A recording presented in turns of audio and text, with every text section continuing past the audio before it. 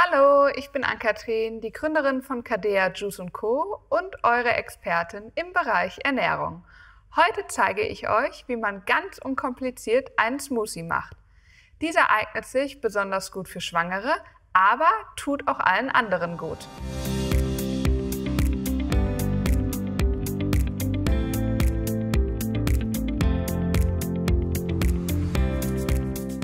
Dieser Smoothie steckt voller gesunder und leckerer Zutaten. Bitte beachtet, dass 500 Milliliter Smoothie eine ganze Mahlzeit ersetzen. Nun zeige ich euch, welche Zutaten ihr hierfür alle benötigt.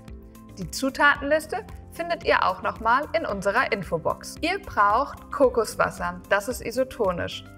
Babyspinat ist ein super Eisenlieferant. Die Gurke ist aufgrund ihres hohen Wassergehaltes ein super Durstlöscher.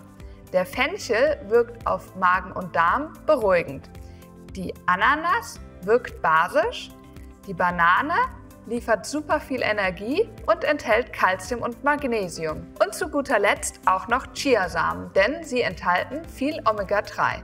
Zur Zubereitung benötigt ihr einen Blender, ein Schneidebrett und ein gutes Messer. Die Zubereitung ist wirklich einfach. Ihr schneidet erst alles in mittelgroße Stücke und gebt dann alles in den Blender und mixt die Zutaten ordentlich durch.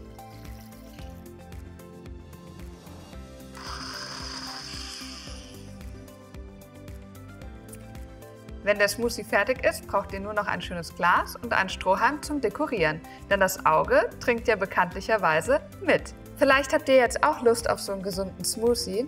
Übrigens, Lilly verschickt im Newsletter praktische Tipps und Tricks. Den Link zur Anmeldung findet ihr in der Infobox.